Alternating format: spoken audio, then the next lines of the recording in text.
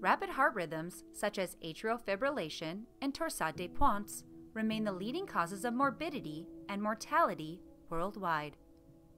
The treatment of lethal arrhythmias is problematic since current antiarrhythmic drugs have limited effectiveness.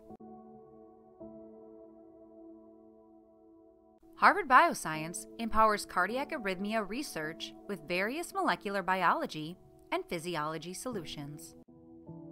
The emulation of arrhythmias of genetic origin is supported by BTX's electroporators, allowing the generation of complex transgenic animal models using reproducible delivery of CRISPR and Cas9.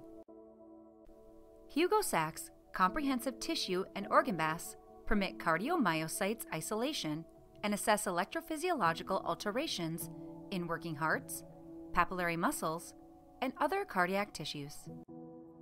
HEKA offers complete patch clamp rigs to help study the role of voltage gated and store operated ion channels in cardiac arrhythmias. Multi channel systems provides multi electro arrays to evaluate the electrical response of isolated cardiomyocytes, cardiac slices, and stem cell derived cardiomyocytes. Flexible electro arrays assist in sampling region specific electrical activity from beating hearts in Langendorff preparations or open chest anesthetized animal models.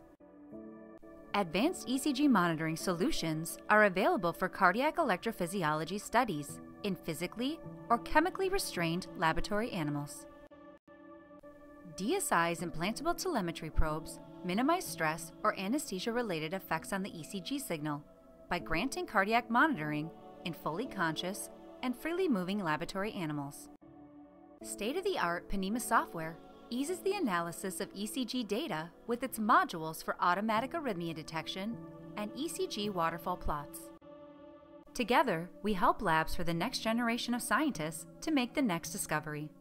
We build these labs with reliable and professional solutions that give them the tools to change the world. We are unified, we are progressive, we are Harvard Bioscience.